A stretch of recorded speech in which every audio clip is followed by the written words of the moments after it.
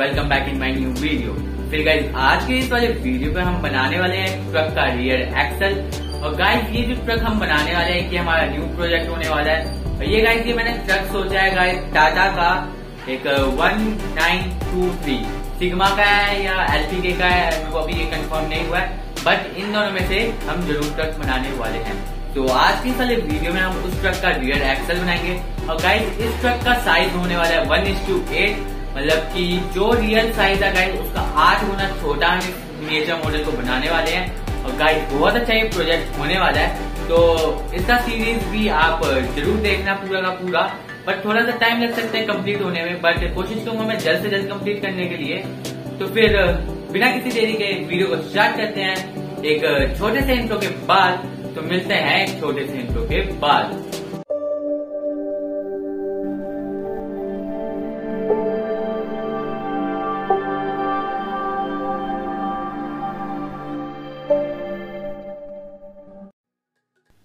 Guys first of all मैंने ये एक प्रिंट आउट ले लिया है, ठीक है? और इसके ऊपर मैं गाइस यहाँ पे एक तीन एम का पीवीसी का शीट इसके ऊपर चिपका दूँगा ग्लू के मदद से, ठीक है? तो ये अच्छे से चिपक जाएगा। तो गाइज़ ये वाला जो शीट का जो हम, मैं कोशिश करूँगा जल्द से जल्द अपना वेबसाइट क्रिएट करके इसका मैं आपको डायमेंशन वगैरह सबको दिखा दूँगा। तो जल्दी से आप चैनल को सब्सक्राइब कर दो। जितनी जल्दी आप चैनल को सब्सक्राइब कर दोगे, उतनी जल्दी मैं कोशिश करूँगा इसका जो डायग्राम है मैं आपको दे सकूँ। जल्दी से सब्सक्राइब भी कर दो। उसके गाइस ये मैंने कटआउट कर लिए थे, ठीक है? उसके मैंने ये बेयरिंग भी लगा दिया जो कि सिक्स एम एम के हैं। ठीक है गाइस ये थोड़ा दिक्कत होगी गाइस वीडियो नहीं बन पाई इसकी, ठीक है? तो गाइज़ यहाँ पे मैं कुछ इस हिसाब से बेयरिंग भी लगा दी है इसके अंदर, ठीक है? जो कि सिक्स एम का मतलब होल होता है इसके बीचों बीच। सिक्स एम का आपको लेना मतलब ये गाइज़ मैंने सिक्स टू नाइन नंबर का बेरिंग लिया है। आप गाइज़ देख सकते हो आपके मार्केट में कौन सा बेरिंग अवेलेबल है। तो गाइज़ यहाँ पे मैंने बेरिंग लगा दिया अच्छे से, इसको मैं चिपका भी लेता हूँ। उसका गाइज़ ये भी था उसके ऊपर, ठीक है?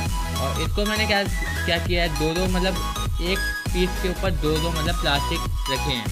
जैसे कि स्क्रीन पे दिख रहा होगा आपको। गाइज़ इस हिसाब से दो है। ठीक है तो ऐसे ही आपको ये बना लेना है बेरिंग के साथ। तो गाइज़ अभी आपको मैं यहाँ पे आपको ये लगा के दिखा रहा हूँ बट गाइज़ ये ऐसे नहीं लगेगा। ठीक है गाइज़ जो पूरा का पूरा जो हमने मतलब कह सकते हो कि मतलब इसको पूरे अच्छे से लगा देना मतलब काट करके उसके पीछे। तो ये कुछ इस हिसाब से लग चुका है। तो गाइज़ जैसे कि स्क्रीन पर देख रहे हो आप तो आपको भी इस हिसाब से लगा लेना है। उसके बाद गाइज़ यहाँ पर मैं एक प्लास्टिक गेयर का यूज़ करने वाला हूँ, ठीक है? जो कि डेवल गियर बोलते हैं इसे गाइस इसका लिंक मैं कोशिश करूँगा अमेजोन पे होगा तो मैं डाल दूँगा इस वीडियो के नीचे। तो ये बीवेल गेयर ले लिया गाइस ये मेरे को गाइस मार्केट गया था लाजपत मार्केट वहाँ पे गाइस मेरे को ये चालीस रुपये का पड़ा था। उसके बाद गाइस यहाँ पे मैं आठ सेंटीमीटर का एक मेटल का, आठ सेंटीमीटर लॉन्ग मतलब मेटल का रोड ले रहा हूँ, जो कि गाइस सिक्स एम का है। तो अच्छे से मैं गाइज़ यहाँ पे ये स्क्रू रहता है इसके अंदर तो स्क्रू से अच्छे से टाइट कर लेता हूँ इसे भी, ठीक है? तो यहाँ पे अच्छे से मैं लगा दिया है। तो ये अच्छे से टाइट हो चुका है। तो गाइस अब क्या करना है? इसे हम अंदर लगा देंगे बट इसे कुछ इस हिसाब से लगाना है, ठीक है? बेरिंग के अंदर ही आराम से लग जाएगा। थोड़ा सा प्रेस करोगे तो ये अच्छे से अंदर चला भी जाएगा। तो गाइज़ ये कुछ इस हिसाब से लग चुका है। तो गाइज़ आपको भी इस हिसाब से लगा लेना है। जैसे कि स्क्रीन पर देख रहे हो, एकदम स्मूथली वर्क कर रही है तो आपको इस हिसाब से लगा लेना है। तो गाइज़ अभी इस वाले के ऊपर आ जाते हैं। गाइज़ यहाँ पे मैंने एक और, एक रोड लिया जो कि सिक्स एम का ठीक है? और जो कि इसकी लेंथ होने वाली है गाइज़ ट्वेंटी फाइव सेंटीमीटर ठीक है तो आपको भी ले लेना है। उसके गाइज़ इसके बेरिंग के अंदर हम लगा देते हैं। और गाइज़ आप बोलोगे यहाँ पर मैंने साइड में प्लास्टिक क्यों यूज़ करा है गाइज़ ठीक है प्लास्टिक गाइज़ मैंने इसलिए यूज़ करा क्योंकि गाइज़ थोड़ा सा ना मेरे को लग रहा था ये गैप कम लग रहा है मेरे को। गाइस मैंने प्लास्टिक एक लगा दिया जिससे कि क्या होगा कि गैप इक्वली मेंटेन होने वाला है। तो आपको भी इस हिसाब से प्लास्टिक को लगा लेना है जिससे कि गैप जो होने वाला है इक्वल मेंटेन होगा और जिससे कि ये डिफरेंशियल गियर अच्छे से वर्क कर सकेगा। और आपको कोशिश करने की इसे थोड़ा सा स्मूथली रखना है, ठीक है? और अच्छे से मैं इसके अंदर लगा देता हूँ पहले। और उसके बाद इसे भी हम स्क्रू की मदद से टाइट कर लेंगे गाइस अच्छे से कर लेना आपको भी इसे, ठीक है? तो अच्छे से मैं इसे टाइट कर लेता हूँ। और गाइस ये वाला जो मैं स्क्रू लगा रहा हूँ, इसके साथ मैं दो तीन स्क्रू और लगाने वाला हूँ। जैसे कि देख रहे होगे, दो स्क्रू लग चुके हैं। और बाद में मैंने एक और स्क्रू इसके साथ लगा दिया था। तो गाइस जैसे कि स्क्रीन पे देख लो तो एकदम बढ़िया वर्क कर रहा है ना ये।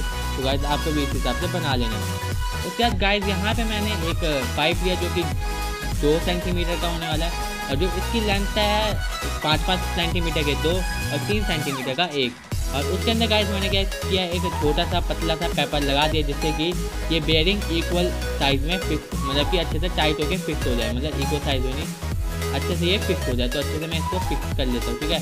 तो प्लास का सहायता ले सकते हो, ठीक है? फिक्स करने के लिए तो ये अच्छे से फिक्स हो चुका है।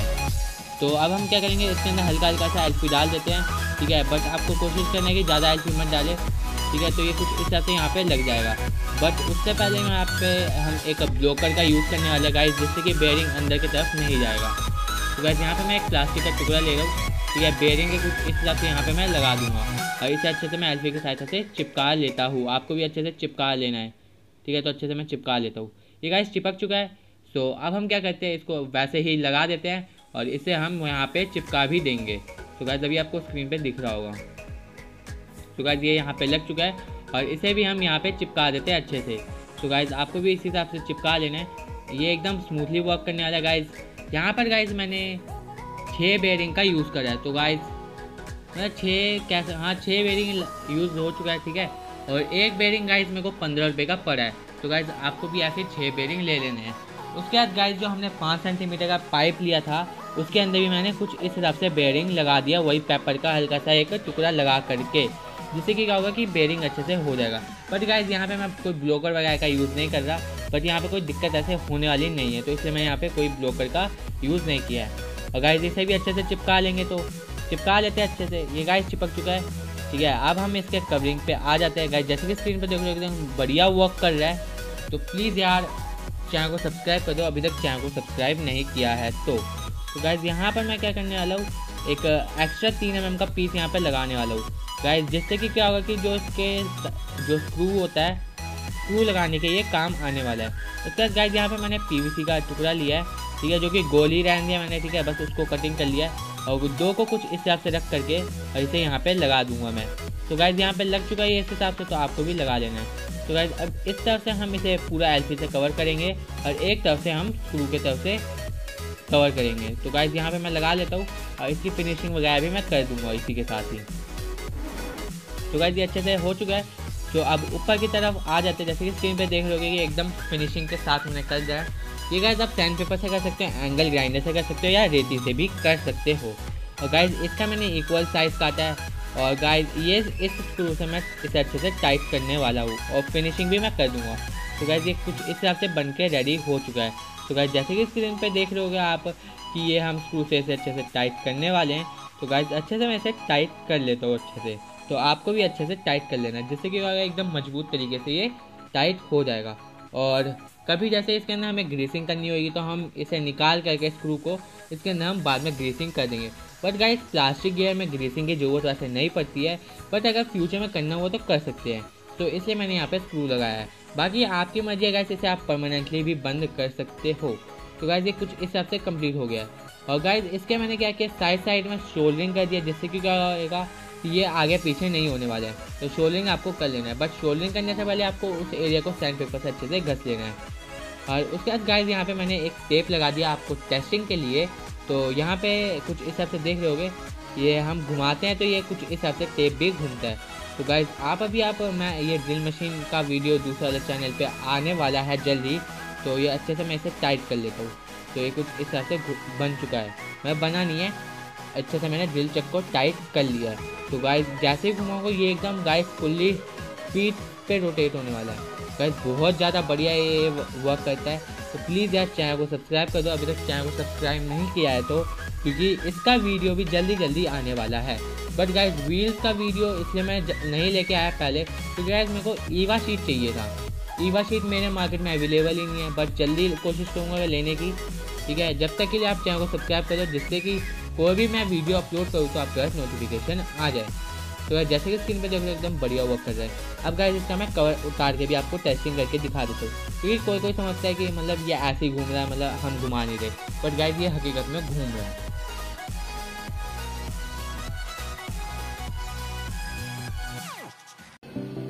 तो गाइस आपको ये वीडियो कैसा लगा? मेरे को कमेंट में ज़रूर बताना। और गाइस जैसे कि देख रहे हो बहुत बढ़िया है ये। और गाइस इसके अंदर हमने प्लास्टिक गियर का यूज़ करा गया खास बात तो इसकी ये है ये प्लास्टिक गियर से है। लोग सब गाइस मेटल गियर्स लगाते हैं। और जो कि गाइस साढ़े तीन सौ रुपए का मार्केट में अवेलेबल है। उससे कम का कोई है ही नहीं गेयर अवेलेबल जो की एंगल ग्राइंडर का होता है। और गाइस ये जो गियर है गाइस अप्रोक्सीमेटली मेरे को तीस रुपए का पड़ा है एक पीस तो मैंने साठ रुपए में दो पीस लगाए हैं। और इसके अंदर रिडक्शन भी ज़्यादा नहीं होता। मतलब एक बार इधर घूमता है तो एक बार इधर ही घूमेगा। मतलब इक्वल तरीके से घूम रहा है। तो ये भी एक हमें फ़ायदा मिल जाता है। उसके अंदर हम मतलब कि इसे आप एक मतलब कि इसे चार बार घुमाओगे तो ये एक बार घूमेगा। तो उसके अंदर ऐसा था। बट इसके अंदर ये मतलब एक बार ये घूमेगा तो ये एक बार ये घूमेगा। तो रिडक्शन नहीं है। न ही इसके अंदर टोक कम होता है न ज़्यादा आरपीएम कम होता है। तो फिर आपको वीडियो अच्छा लगा अगर मेरे को पता है कि आपने इतनी एड तक ये वीडियो देखी है। तो फिर प्लीज़ यार चैनल को सब्सक्राइब कर देना एंड बेल नोटिफिकेशन को और जाके सेट कर देना, जिससे कि मैं जो भी ट्रक से रिलेटेड या ट्रेन से रिलेटेड वीडियो डालू, आपके पास उसका नोटिफिकेशन आ जाए और आप उस वीडियो को देख सको। तो फिर मिलते हैं एक न्यू वीडियो के साथ जल्दी तब तक के लिए जय हिंद और जय भारत।